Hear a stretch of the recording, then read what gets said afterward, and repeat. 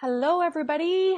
Um, hope I'm live and uh, you're here watching this live stream today. If you're here, uh, do say hello and let me know you're here listening and where you're from and what, any questions that you have about uh, identifying the best business idea for you. This is a great topic because I love talking about this topic um, because a lot of you that are here are probably in uh, that uh, stage of really understanding and being able to identify uh, what should you be doing if you were to quit your job, right? What what should you be doing to make a living that is not what your resume uh, currently has in it, and and also how can you be cubicle crasher, right? That's what we're here, all here for. That's why you're here at Screw the Cubicle.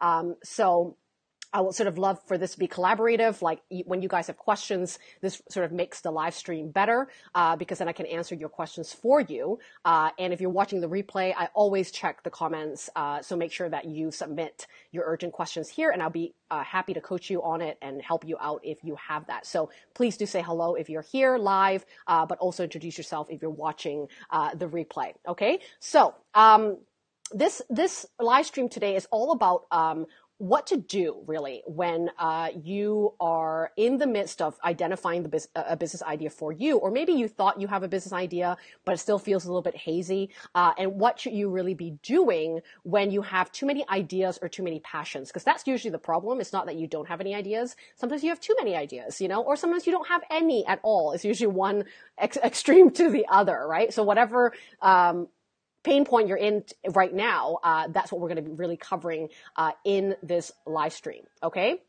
So again, if you're here, please say hello so that I know someone's here because I never really see what people write on the chat box till after. So hopefully I'll get to see your questions, but uh, just say hello so I know that I'm not talking to myself, which is great.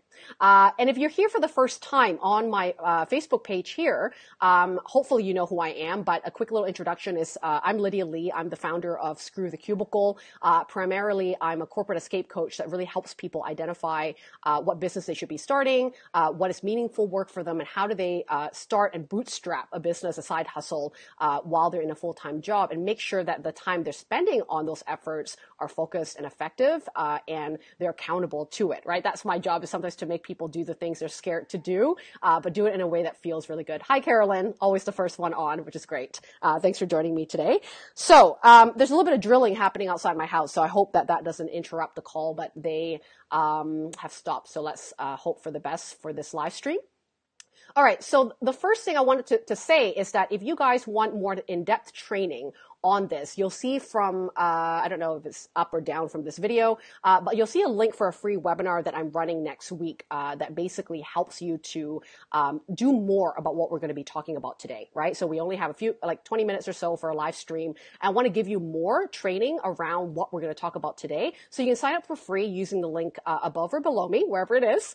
Uh, and, and we can actually talk more about this and we'll give you uh, a workbook to work on and we'll also give you a chance to ask me questions questions as you work on your business idea. Uh, so I would love for you to join me on my in-depth webinar next week, talking all about what business you should be starting and what are the steps you should be um, implementing today to get the validation that you need that your business idea is needed, uh, and also a business idea that you want to do. Right? There are so many business ideas out there, and you always, you know, I think what happens when you're initially starting this journey of like thinking about being an entrepreneur or thinking about working for yourself or wanting to freelance, you're probably going out there in the Google world, sort of like researching everything, trying to find out all the information that you need to get. And sometimes that's a great thing for inspiration, but sometimes it could also be really um, extra confusing because there's so much out there. There's so many types of businesses. There's so many people doing so many things uh, and making a living in different areas. Um, and where I really want you to focus on is not about what everybody else is doing and not having this business pornography behavior of just like researching, learning, overlearning, but actually really getting uh, more present about yourself, what you are able to do, what are your capabilities, what are skills that already exist for you. It's so much easier and more meaningful to do something that you already know how to do and repurpose these skill sets and expertise uh, into a new business or a new focus for a business versus trying to conform yourself to something else someone else is doing just because it seems really successful for them. Um, business ideas change all the time. There's always a great business idea out there for someone to grab, but what doesn't change is who you are right? What life experience you've already come with, what work experiences you already come with, that doesn't really change as much. So it's better to use the tools that you have and the skill sets that you have and being more strategic about that and, and building a business faster that way rather than trying to uh, be the next Instagram superstar or be the next, you know, whatever influencer you see out there when it actually doesn't match your strengths and your skills, right? That's the first thing I sort of want to say about um, this inventory check of your skills, right? So if you're watching this right now or the replay, I would love for you to comment below this video on like, how clear do you think you are about what you're good at? How confident are you with what you're good at? And what do you think is missing between, uh, feeling good about a skill set or maybe you don't know what that skill set is, but what do you think you need to get clear on in order to be more confident in knowing what you have to offer? Okay, so let me know below and I'll check in on that chat box uh, a little bit later. All right, so the first step of really picking the right business idea is not to look at any other business ideas, right? We want to start holistic and we want to start organically with what you have actually already available to you, which is the life experience, the work experience you already have. So the first step is really to identify those strongest skills. And when I work with uh, coaching clients on this, I, I, we do like a big brainstorm session, and I think you can do this on your own uh, in, in your own home, where you take out a bunch of sticky notes, you know, and you just start writing and brainstorming. None of it's right or wrong of things that you know how to do right? Go back into your past resume, go back into your current position that you have in your job, for example, or any extracurricular things that you've never been paid to do, but you do know how to do it, and start listing your knowledge, just start listing your know-how and doing a little bit of a brain dump, okay, of just everything that you know how to do, just to give yourself that sort of fresh perspective about this inventory of your professional and personal skills.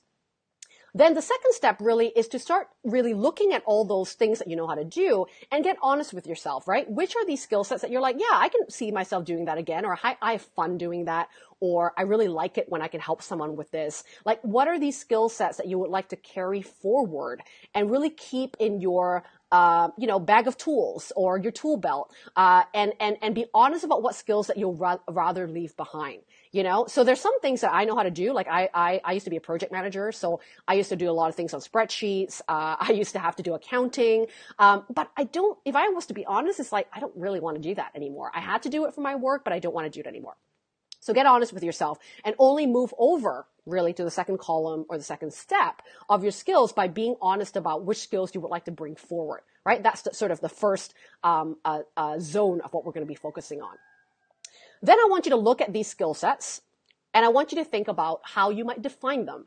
Uh, it's it's basically there is a difference between like you know um, skills that are more general. So like you might say, I'm a project manager, but that doesn't actually mean anything. It's not a skill. It's actually a job title or a job role. You want to break that role down. So as a project manager, for example, what do you do in that role? You know, you might be um, uh, building teams. You might be uh, building, uh, you know, task boards that other contractors will know what to do uh, when it's been chunged down for them. You might be a great people connector where you actually find these contractors for projects and make sure that everyone is working towards the same deadline. Like, what are the skills that you actually have to have to perform in that job? And I think a lot of us miss this step. We sort of just go, oh, I'm a wedding planner, I'm a project manager, I'm a writer. But there's actually a lot of um, in-depth skills that you, you utilize to create that role for yourself, to be good at that role. So you want to break it down right? So an example of this is let's say, okay, let's use the example of a wedding planner right? So instead of saying that's my skill, you want to break that down even more and basically think about it like, what do I have to do to be a wedding planner? Well, that may be a combination of like, I'm good at organizing events. I'm good at understanding somebody's story to craft a theme for a wedding. Uh, I'm great at managing people because, you know, all those contractors, wedding stuff, all the moving parts of a wedding, someone's got to be pretty detailed, right? About managing people in order to do that role. Uh, maybe you have an attention attention to aesthetic detail, right? You you have a great eye for decor, a great eye for colors, a great eye for design that also allows you to be a great wedding planner. Uh, you might be someone that uh, is good at creating like a great ambiance or a mood, or being able to plan a memorable experience from beginning to end. So as you can see, when you break it down, you can see more of your skill sets actually shining out from that job role and be a lot clearer in how you perform a job in order to actually know what your skill sets are, because these skill sets are what you can repurpose. You don't have to stay in wedding planning, but knowing that you're a good uh, event planner, knowing that you're good at managing people, knowing that you're good with design, for example, you can then utilize the skill and go, well, where else can I use the skill? You know, and that could be actually much more effective of uh, knowledge for you about yourself uh, than just saying this is my job role. Okay, so hopefully that's clear for you, and we'll talk a bit more about this on the webinar on how to do this. But um, let me know if you have any questions about breaking down your skill sets. Okay, to really pay attention to what you actually know how to do rather than it being uh, just a job role title. Okay. The next thing you want to think about is uh, what has already happened for you. Like, want to start. You want to start thinking about what people have already come to you for. What are you most valued at in the jobs that you've had? What do people know you for right now in your day to day life? You know, uh, and what you know how to do may not always be what you've been paid to do professionally. I can't tell you how many times when I've worked with a coaching client where they're like, I don't have any other skill sets than just my resume, but I don't want to do those things anymore. And then they realize that actually a lot of hobby projects that they know how to do, or just like life stuff that they know how to do, like if you can be, if you know how to be a good mom, or you just cook for fun, you know, whatever those things are that you've never been paid to do but are good at, those are still skills. Just because you've never been paid to do it doesn't mean they don't exist. Doesn't mean they're not valuable. You know, so don't forget about personal stuff as well that you know how to do that is not on your resume, but you have fun doing it. Other people don't know how to do it and you can envision yourself actually making a living from it if you tried, right? So don't disregard personal skills. Uh, that can be really, really relevant in identifying a, a good business idea for you. So a good example of this was the second business I ever started, which is this business, Screw the Cubicle. It started as a blog. It started as just like, well, I had to get myself out of a, a, job. I had to learn how to side hustle. I had to learn how to freelance. I had to learn how to negotiate my contract with my boss to sort of have a great landing pad financially before I quit. And I did all that sort of like because I was trying to get myself out of my job, right? And then later on, when I started blogging about it, I didn't realize that this was actually helpful for other people, you know, but because I just did it on my own, I never was paid to do it. But then there's obviously a market for it. So if I'm a market and I'm someone that needed to do that, there's probably other people like me that want to learn those steps. And so it really, I didn't know about coaching or know that this was even a possibility to make money until someone actually inquired about my services and going, well, do you help people do the things that you blog about? And I was like, right. Okay. Well, that's interesting. Um, I could think about that. Right. So don't disregard the things that you've gone through, problems you've solved for yourself, things that have been hard for you in the past and not, are not anymore in your personal life that can actually be a great business idea. Okay knowing what problems you can solve is a great way of asking that question of what business I should build. You know, what business I should build is too, a bit too vague, a bit, a bit too big of a question, but you can ask the question of what problems do I know how to solve? What do people already come to me for? What am I on the speed dial for? What do my friends and family and colleagues rely on me for that can give me a clue as to what I'm good at, but maybe haven't realized it because it was such a natural ability. Okay. So take that inventory of skills by deciding what you want to do versus what you can do. And there is a difference, right? What you can do is what you know how to do, you've been trained to do, but may not be what you want to do anymore. And you want to get really honest with that and isolate that list, chunk down that list even further to a really, really handful of stuff that you really want to do and know how to do. Okay.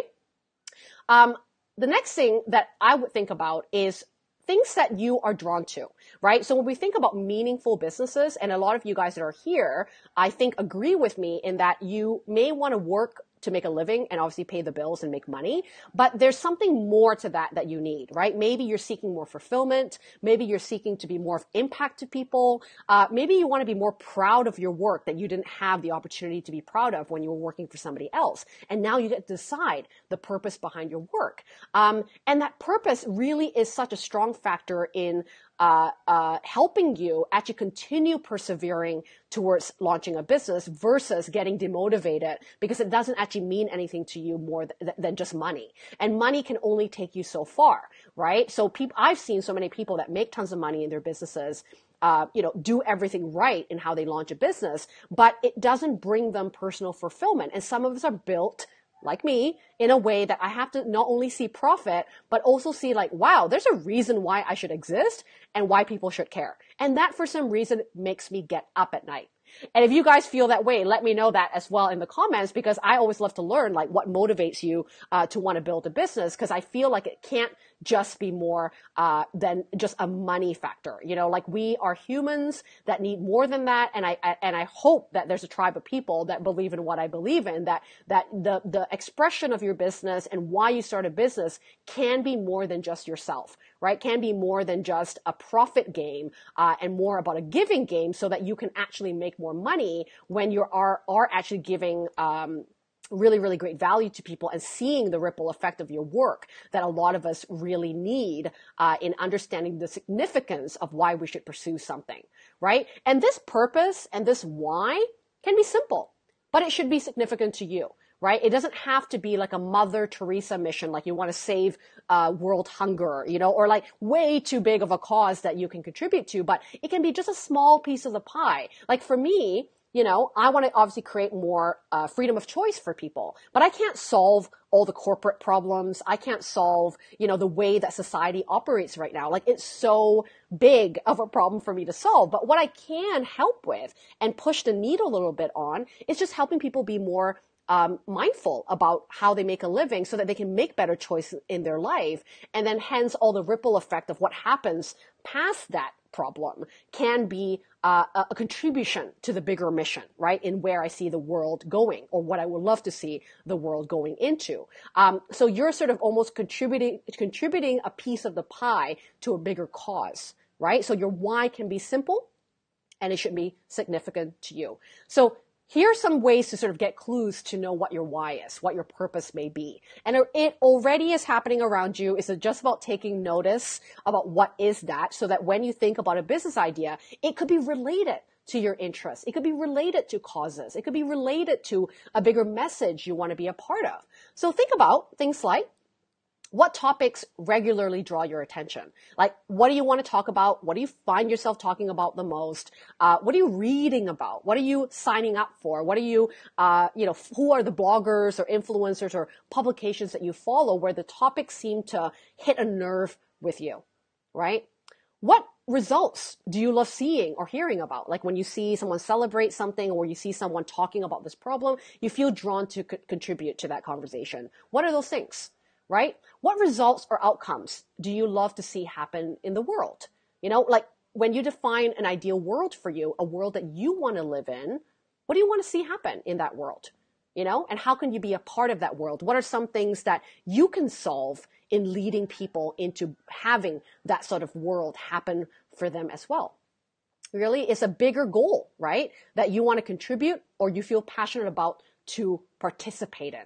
What are those things? And some of that can f- sort of sound a bit intangible. You know, like I have writers, for example, that come to me and they're like, yeah, I want to help people publish a book. But what I'm really passionate about is that I want more stories to be told. I want more people to know that they have a story within them and that, that their legacy story can be shared with the world and that their story can really help somebody out. That's what's behind the root of the passion. The writing a book and teaching you how to write a book, teaching you how to publish a book, that's the how. But the why behind it is that, well, I wish that there's more people sharing their stories and sharing, um, you know, some of their background of uh, their their pain in the world, so that they can actually uh, connect with more people in the world. That's a much bigger why than just I'm going to teach you how to publish a book. And when you sort of ask yourself these questions about what you're drawn to, what conversations you want to have, what causes you want to contribute to, there could be a theme that can come out from these answers right? And you might start to see a significance theme that is coming up from all these different things that you're attracted to to be able to give you a direction of where you're going to utilize your skill sets towards that theme problem or purpose of where your work should be leading you to and leading your customers to. Okay? If there's any questions about that, put them underneath this video and I'll be sure to answer them. Now, the last thing to do is that if you have a couple of different directions, you're like, well, I think I'm drawn to women leadership, or I'm drawn to, you know, people telling stories, but I'm also drawn to like people publicly speaking. And I'm not really sure where I want to go right now. That's fine. And that's a much more sort of focused, small list of ideas rather than a bunch of general ideas of a list of problems. The last uh, step that you should be looking at uh, in terms of, you know, validating a business idea is first you need to validate your ideas, right? Validate um, this, the, the need for people that want this thing that you're considering. uh, doing for people as a value exchange for money.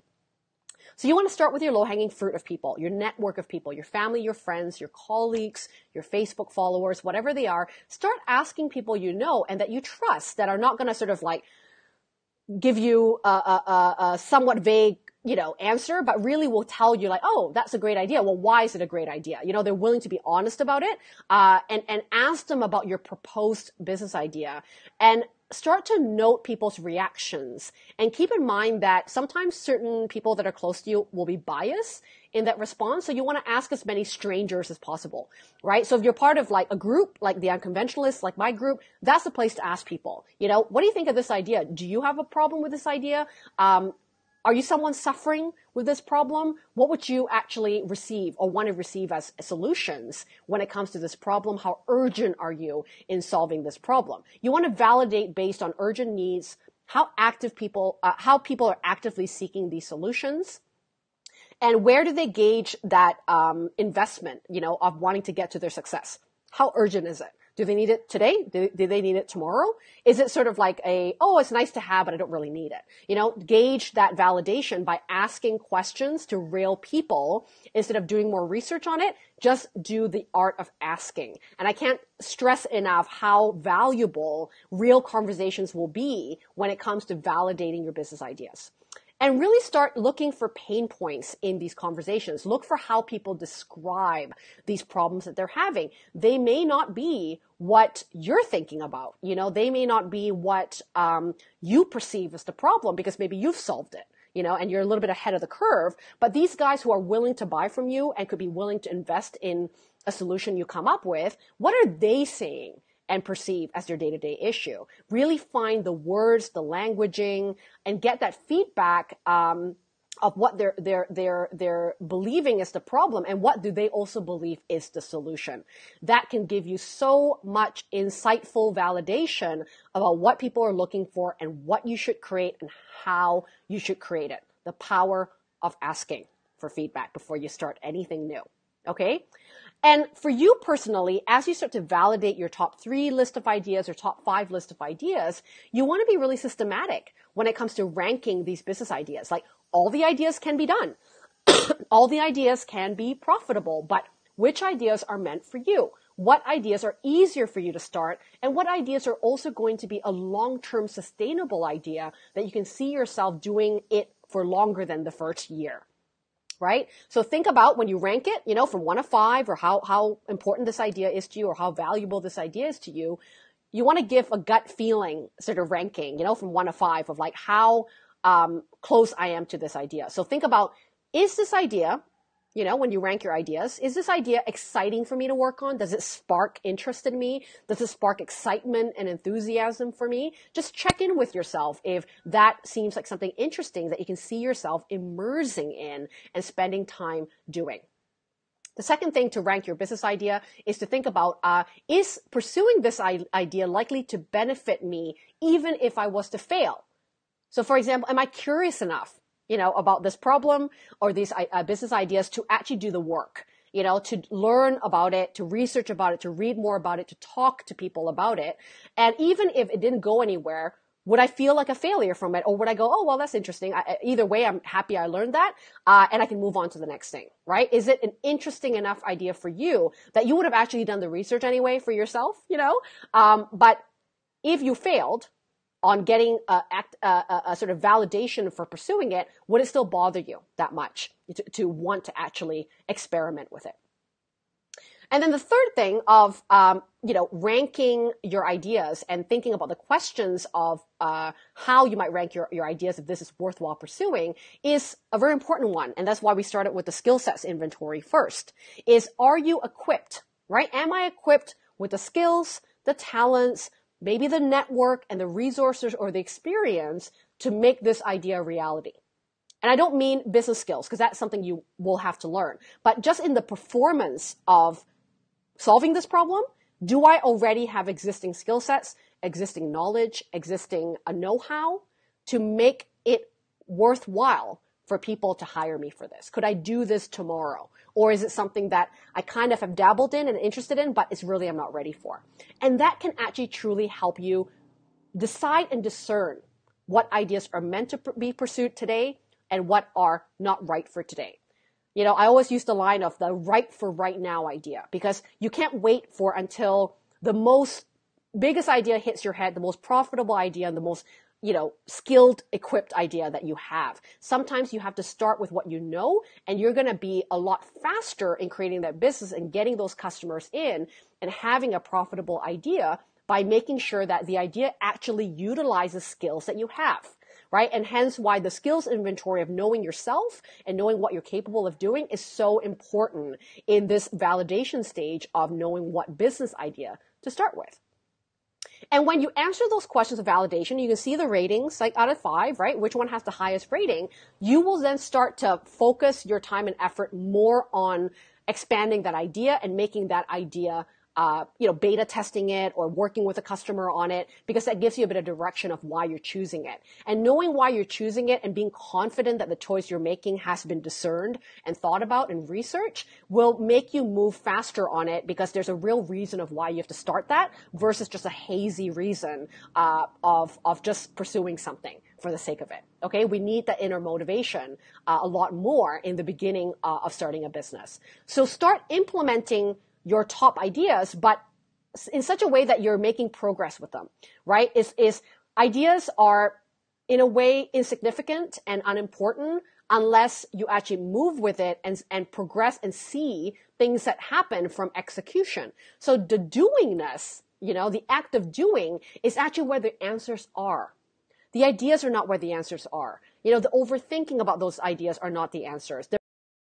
You can do even without a website by uh, that is uh, the right thing for you. Okay. I think I just got a little glitch on my live stream that maybe told me that I was on pause. Uh, so I want to re- reiterate what I said just in case that you missed it, uh, because I feel like it had to restart this live stream. So I'm not sure if you heard what I said. So I'm going to go back into the last thing I talked about, uh, which was the the the um, systematic approach of ranking your business ideas. So, ooh, technology is not working for me today, but hopefully you caught majority of what I said, uh, but I wanted to sort of rehash what I said so that if you missed it, um, you, I didn't sort of go offline because I think something happened there. Uh, so the last part of validation of idea is ranking. Right, ranking the short list of ideas that actually uh, is going to be conducive to your talents and your skills in order to give you the confidence to pursue that idea. Okay, so the first way to rank is one of five, right? Rank whatever way that you see is worthwhile for you look at the idea and go, is this an idea exciting for me to work on? Right? Is it something I'm curious about, interested enough in? It lights a fire in my belly to work on it. Okay. Second ranking is, is pursuing this idea likely to benefit me, even if I fail? So will I learn something from it? Does it matter? Even if it wasn't a thing I would pursue, but I'm still interested enough to actually learn more about it, right? So that would be uh, the second way of ranking it. The third way of ranking it is, are you equipped with the skill sets and talents, maybe network or resources to make this idea come into reality? Could you do the job if someone hired you to solve that problem tomorrow? You could actually do it without having to relearn things. Okay. That's going to make the idea um, a, a, a, lot more uh, feasible for you to start. Carolyn, thanks for letting me know you're actually listening to me now. Uh, I know it doesn't want you to know how to rank your ideas. That's why you have to attend the webinar, uh, where we're going to talk more about this. But hopefully you caught that last part of me talking about that again. Um, rate that, right? One to five. Ask those questions for all those ideas, right? Again, is the idea exciting, exciting for me to work on? Is this idea worthwhile pursuing, even if it reaches a wall and I'm not going to pursue it if it failed? Uh, would I still benefit from the learning? Am I curious enough about it to continue? And then lastly, the most important question, are you equipped right now with the skill sets and talents and know-how to actually do this job tomorrow if you need to? Okay. And that last question is a very big discerning factor. It's a big deciding factor for you to choose between the ideas because I get so many people uh, that basically will say, "Oh my God, I've got ten great ideas," but when they actually ask that question of like, "Do I have the skills though to do this idea, or did I just think it's a good idea?" You know, that can absolutely help in that last question, and that's why we started with the skills inventory uh, question first to start. Uh, Carolyn, you said sticky notes exercise is, is helpful because you can shift them around if you're indecisive. So true. And you can sort of start to be like, okay, the yellow sticky notes are a maybe, and the pink sticky notes are sort of like really, really important and really doable for me, you know, and you start to categorize them. I love sticky notes. They're very movable. You're so right. Uh, and so doing that brain dump first of your skills, then going into like what interest things that I have about what I'm passionate about and start moving things around and seeing what goes together, seeing the themes that go together, and then coming up with a short list of ideas that come up from the research of yourself and starting from there and then doing the ranking and the rating, you know, and in order to verify which is the one I want to back the horse of, you know? And then you're able to do things like the, the beta testing and the testing it out of your services in within that idea in order to, um, uh, get that validation before spending money on your website, spending money on whatever you think you need to do for business. Okay. So I hope that was helpful in, in, in thinking a little bit about what's important to focus on versus wasting time researching and wasting time uh, just seeing what everybody else is doing and getting back to a centered place of understanding what you are capable of doing and what skill sets you already possess which is going to be much easier to build a business around rather than trying to conform to a, a, a, a good idea that's meant for somebody else. Okay. So if this topic interests you and you are in the midst of validating your ideas or coming up with a business idea or, or discerning ideas, um, I would love for you to join me in, in an in-depth training I'll be running for free next week, uh, which is understanding what business you should start. So the link is not sure up top or below this video, uh, where you can sign up for free, and it's basically uh, called the "What Business Should I Start" webinar. Uh, and and what I'm going to teach you to do is to learn how to repurpose your experience, uh, your knowledge, and your skills into a meaningful uh, business direction how to identify strengths that you might not be aware of that's outside of your resume that can actually be utilized for a business idea. Uh, and I'm also going to share with you the one thing that you need to identify uh, or discover to identify a business idea that actually pays you.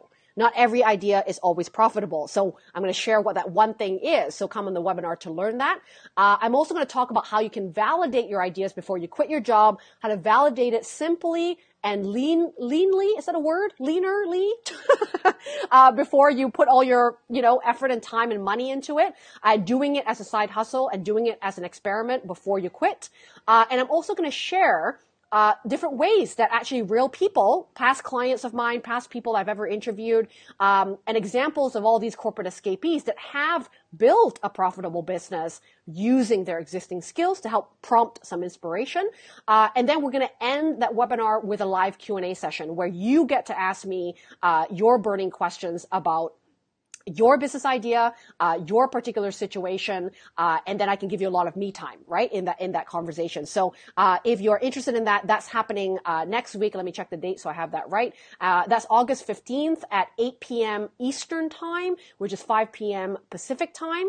Um, if the time zone doesn't work for you, don't worry. If you sign up, you'll get a replay, and you can actually submit your questions. We'll have an email out before the webinar where you can uh, email me actually with your questions. So even if you're not live on the call uh, or on the webinar, I'm going to make sure to answer that question for you at the Q&A session. Okay. But if you can attend live, you can be a quick hot seat. You can be a case study, uh, where we help you actually with your personal, uh, business idea and make sure you're moving forward with it. Uh, there's going to be so much cool things, uh, we're going to talk about at the webinar, which, uh, takes a lot more time. So that's why I wanted to give you a brief outline today and then have you attend the webinar for a more in-depth training. Uh, so Carolyn says, highly recommended for everyone to dip their toes in. You'll get a lot of info in the webinar. It's true. Carolyn, you've attended many webinars and now you're in a program with me. Uh, there's, uh, you know, when we incubate together and when we can actually focus on one problem at a time and really have a full discussion as a group is so much more helpful, uh, than trying to do it on your own.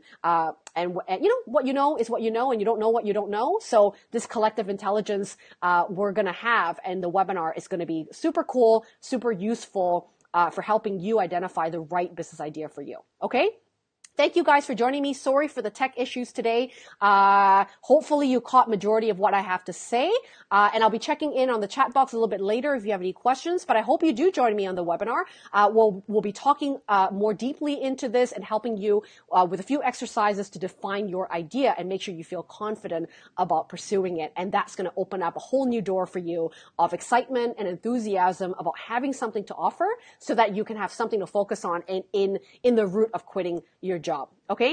Thanks guys for joining me. Always love talking to you guys. And again, any topics that I can come up with for the live streams that I do every week, let me know what they are below and I'll make sure to include that uh, on next week's uh, live stream as well. Thanks guys for joining me. See you later and hopefully in the webinar. Bye.